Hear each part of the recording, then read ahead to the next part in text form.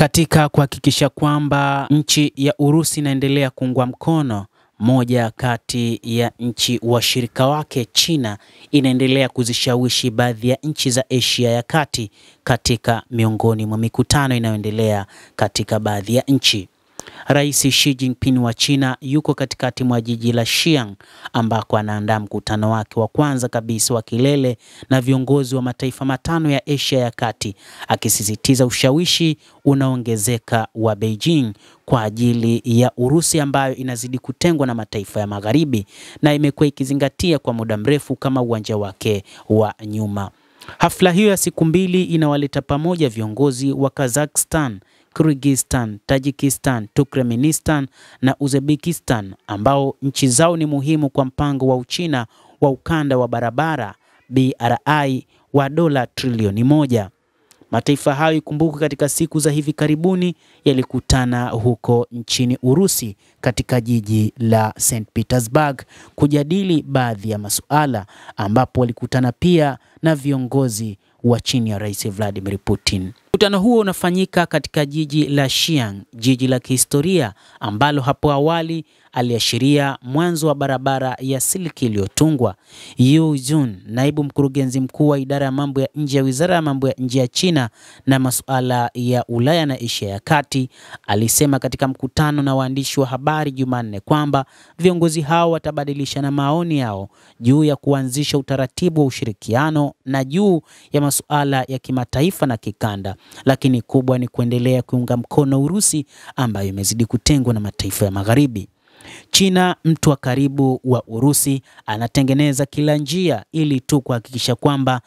jirani yake ama swaiba wake wa kihistoria hawezi akatengwa na ulimwengu. Mikataba kadhaa inatarajiwa kutua saini, alisema katika mkutano na waandishi wa habari siku ya Jumanne. Wachambuzi wa mambo wanasema kwamba wakati huu China inafanya kila inaloweza kuhakikisha Urusi haitengwi na mataifa mengine tofauti na yale machache ya Ulaya na hivyo kuhakikisha hata bidhaa zake zinauzika kwenye mataifa hayo, tofauti na kile wanachotaka watu wa G7 ambao wakati huu katika mikutano yao wanawaza tu kuendelea kuweka vikwazo kwa nchi ya Urusi pamoja na wale wote wanaoshirikiana naye. Wakati mkutano huo unaambatana na mkutano wa kilele wa G7 nchini Japan, wachambuzi pia wanasema umuhimu wa mkutano wa wakuu wa China wa Asia ya Kati ni kwamba unasisitiza mabadiliko ya mifumo ya ushawishi katika mataifa ya zamani ya Sovieti ambapo Urusi imekuwa na ushawishi kwa muda mrefu. Ningesema mzozo wa Ukraine unaharakisha zaidi mielekeo iliyokuwepo katika eneo hilo kubwa zaidi, ikiwa ni China kuhakikisha kwamba inaiunga mkono Urusi katika kila mahali, anasema Brady Jadin, mkurugenzi mkuu wa jumuiya ya Oxfam ya Kati. Masuala ya Asia huko Washington DC ni kwamba serikali nyingi za kikanda zinazidi kutilia shaka malengo ya China juu ya Urusi katika ukanda huo na China imefanya majaribio, majaribio mengi kuhakikisha juu ya uhuru wa nchi hizo, lakini pia juu ya kuiunga mkono nchi ya Urusi ambayo watu wa Magharibi wanataka itengwe na mataifa yote ulimwenguni. China ilichapisha data siku ya Jumatano inaonyesha kwamba kiasi cha uagizaji na uuzaji wa bidhaa za China katika nchi za Asia ya Kati kilifikia UN bilioni 173.05 sawa na dola bilioni bilioni 24.8 katika miezi minne ya kwanza ya mwaka 2023 sawa na ongezeko la asilimia 37.3 ikilinganishwa na kipindi kama hicho cha mwisho wa mwaka uliopita.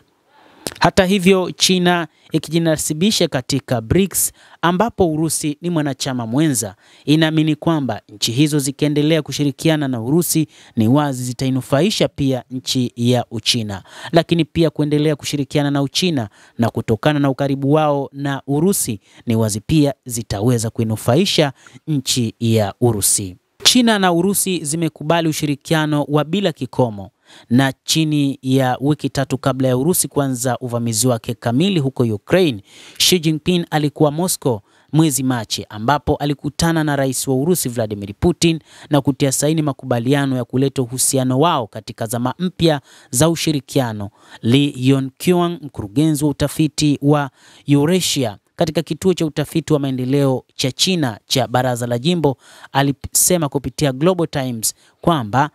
serikali ya Urusi na China katika miaka thelathini inayokuja itakuwa ni serikali yenye uchumi mkubwa na serikali zilizoendelea katika kila idara na kwamba zitaweza kuyapiku mataifa mengi ya ulimwengu.